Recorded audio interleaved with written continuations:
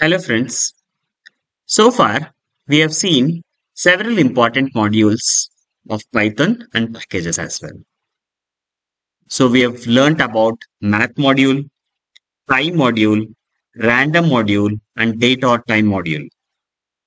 On the other side, packages, we have covered so far the NumPy package and Matplotlib.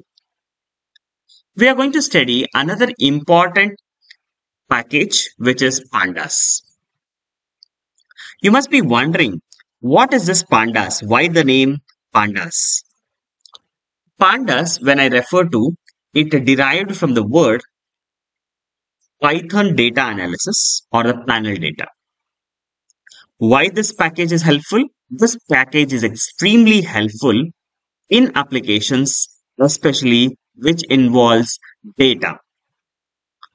This library helps you for several data operations, including cleaning, analyzing, and exploring of data.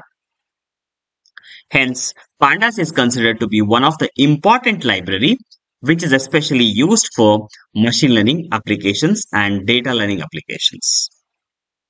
Let's try understanding how to use this Panda library.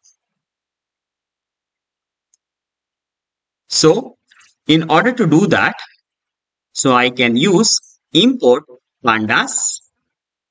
I can use a short form as pd, then print pd dot underscore underscore version underscore underscore close braces. Right. So once I execute this, you will be able to see the version of pandas that you're working on.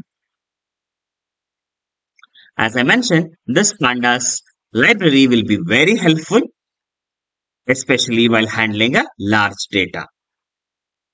So we will study more about this pandas in the coming videos. See you in the next video. Thank you.